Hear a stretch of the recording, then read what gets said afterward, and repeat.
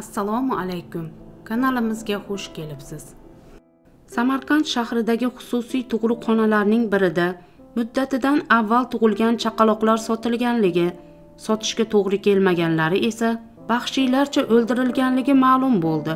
Bu haqda xalq so'zi huquq gazetasining 14 iyundagi soniga tayanib xabar bergan. Zotan samarqandda sun'iy abort yo'li bilan tug'ilgan chaqaloqlar savdosi bilan shug'ullangan nigora solixonova boshqaruvidagi xususiy tug'ruqxona aniqlangan.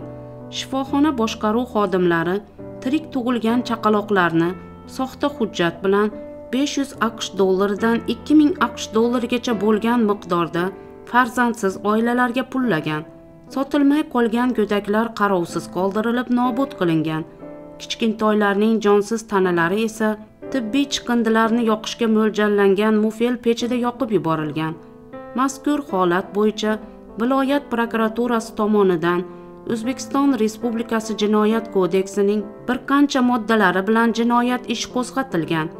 Joriy yilning fevral oyi oxirida jinoyat ishlari bo'yicha samarqand viloyati sudining binosida shifoxona ma'muriyati hamda xodimlariga hukm o'qilib shifoxonaning bosh shifokori nigora solixonova 13 yilu 2 oyga ozodlikdan mahrum etilgan.